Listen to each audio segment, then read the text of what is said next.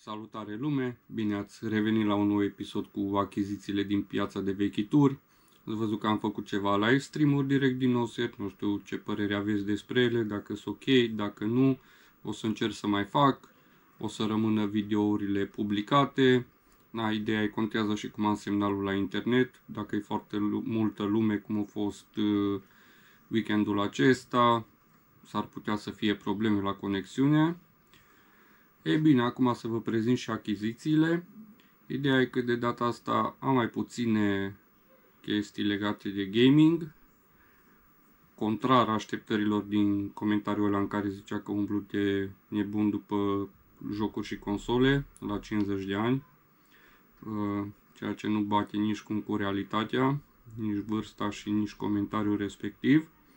Uh, inițial m-am dus după un mixtape care uh, l-am văzut săptămâna trecută, am zis să mi-l țină. The Game, The Red Room, e un mixtape neoficial, a apărut uh, doar în Franța și în Spania. Are un uh, poster destul de fain.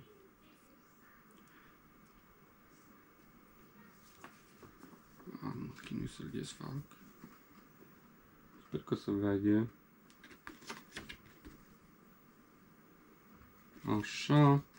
Uh, eu inițial v-am spus, m-am dus și mai târziu, știam că jocuri slabe șanse să mai găsesc și nici nu m-am mai agitat după jocuri, deși am mai văzut console, un Nintendo, un N64, bine zic, N64 și un pistol Namco pentru PlayStation 1 Așa, da, am fost setat pe muzică weekendul ăsta, o să și vedeți. Deci am spus, mixtape-ul acesta a fost 25 uh, de lei. L-am luat deodată cu acest uh, CD-ul.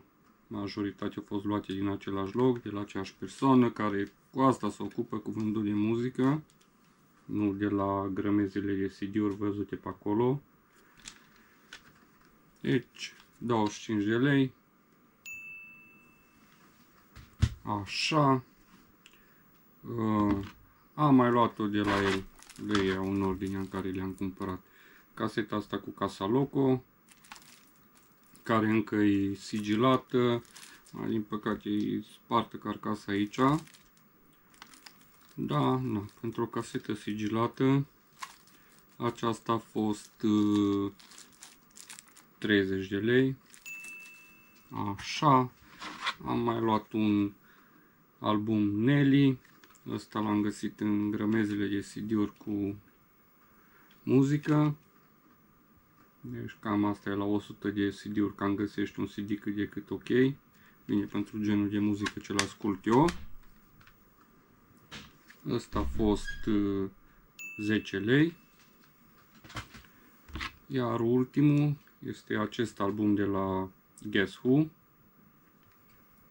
Asta a fost un pic mai scump, a fost 50 de lei. Da, m-am uitat și nu prea l-am văzut pe nicăieri. Și arată destul de ok, e o ediție mai specială.